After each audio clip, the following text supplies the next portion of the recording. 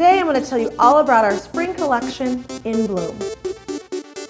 In Bloom is all about fresh picked shades and washes of colors. So the look we're going to recreate today, it's all about gray glamour. To start, I'm going to use an eyeshadow base from the In Bloom palette. I'm going to apply the base shade across the lid. Then I'm going to use the mauve gray shade from the In Bloom palette. It has a little bit of mauve in it to make it right on trend for spring. I'm to start the lash line and apply completely over the lid, going up just above the natural crease. Next, we're going to use our Soft Focus Powder Liner.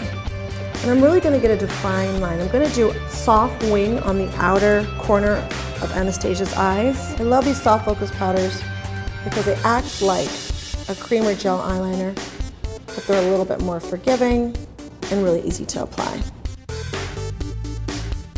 Next, we're going to use a little bit of our artificial luminizing powder in the inner corner of our eye to just widen and brighten.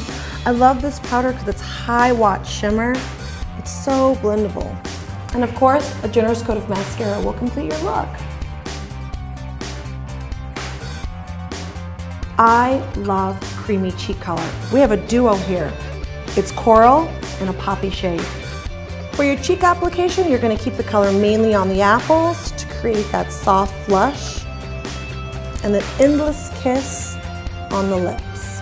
It's going to add the right amount of high shine that goes really nicely with our eye and cheek.